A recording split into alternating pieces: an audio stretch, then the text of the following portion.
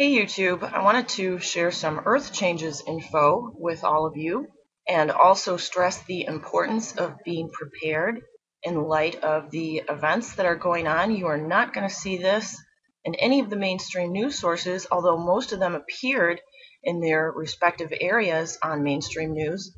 Uh, when you look in totality at what has been occurring over the last uh, week, week and a half, um, it's very alarming. We have a number of sinkholes that have occurred. We have a number of train derailments that have occurred.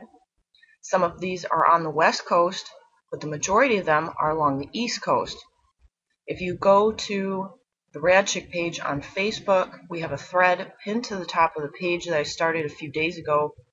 Since then, and I want to thank Deborah O'Neill for uh, finding many of these stories in addition to um, the original stories, which were from Baltimore, Brooklyn, and Philadelphia, we have about 40 more that have been added since then.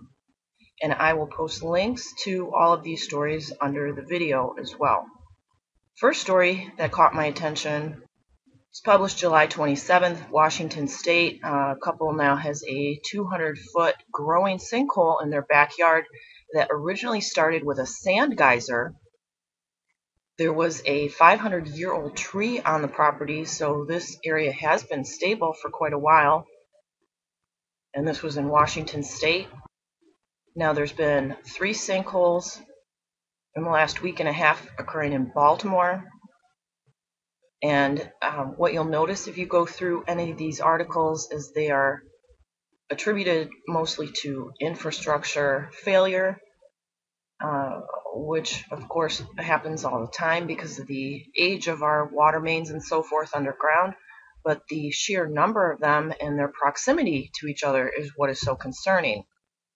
South Philadelphia, in New Jersey, there's been about 12 of them along a beach. Uh, one of them, a guy fell into. He said, I couldn't move. It was like I was in concrete. Monroe Drive in Midtown. This occurred in Atlanta on August 1st. North Chapel Avenue, Cherry Hill, New Jersey. Westmont Road. This was published July 31st. Near Westmont College in Santa Barbara. There was a fatal train derailment on the St. Lawrence stretch zone. Um, this occurred at the end of February. This is one of the older ones.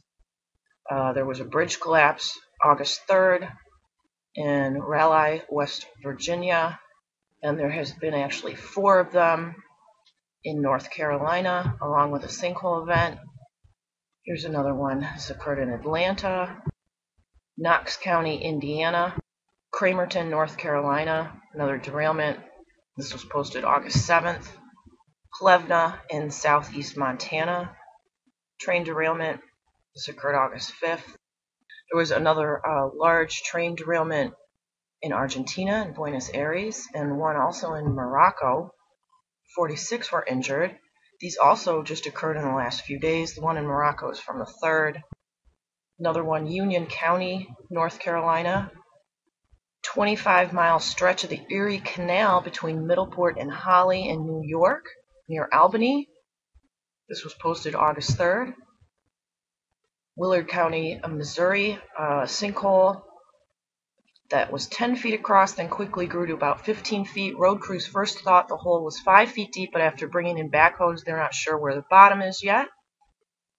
Now, this is the current earthquake map. In the last uh, few days, we've had a number of earthquakes that have occurred in Oklahoma and in Montana, uh, near Seattle, and along the California coast and San Andreas. And there were also a couple, uh, there's one up near Quebec, and there was one in West Virginia, although I do not see this posted. This is the map that I made this morning. These are all of the sinkhole and train derailments that have occurred in the past week and a half. This one's in red because of its proximity to the New Madrid. Um, there's a large sinkhole that was preceded by um, bubbles coming up from the swamps, and shaking of houses for the last few weeks in Assumption Parish, Louisiana. And again, look at the proximity of where the Macondo well was. where they punctured the Salt Dome and where the New Madrid is.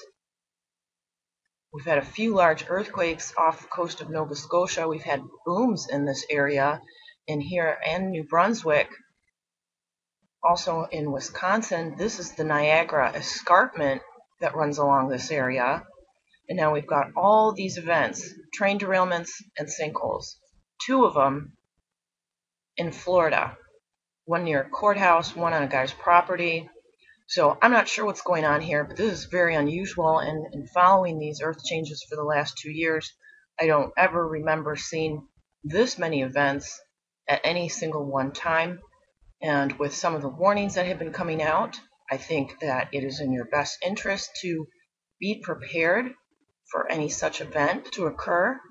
And let me post the map of where all the nuke plants are located.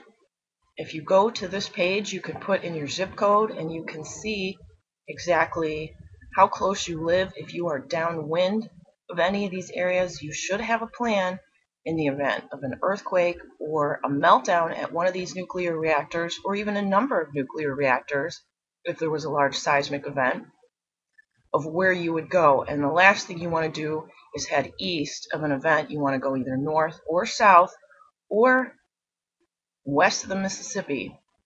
Now, I also heard a statistic last night that 61% of people believe there is some event coming in the next few months, be it either a global economic collapse, a large seismic event, a celestial event, and I don't know what to make of that except to be prepared because once something like this happens, it's going to be too late. You need to have at least a gallon of water for each person in your household for each day.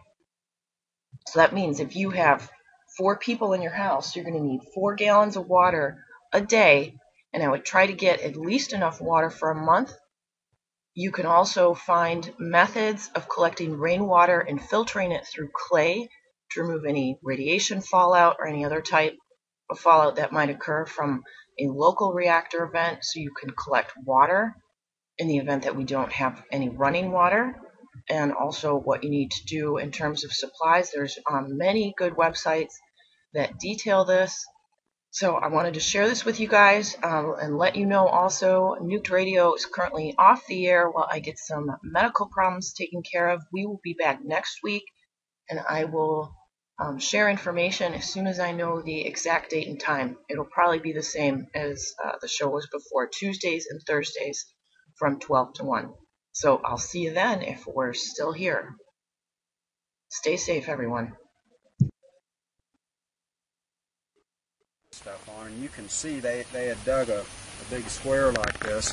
And you can see in the wall where all the midden stuff is, and then right on top of that, there's this sand layer in there. I mean, just right on top of it. So these people were probably living there, and this earthquake happened, and they were just inundated. That's nightmare. So what? Would it have buried them, or what?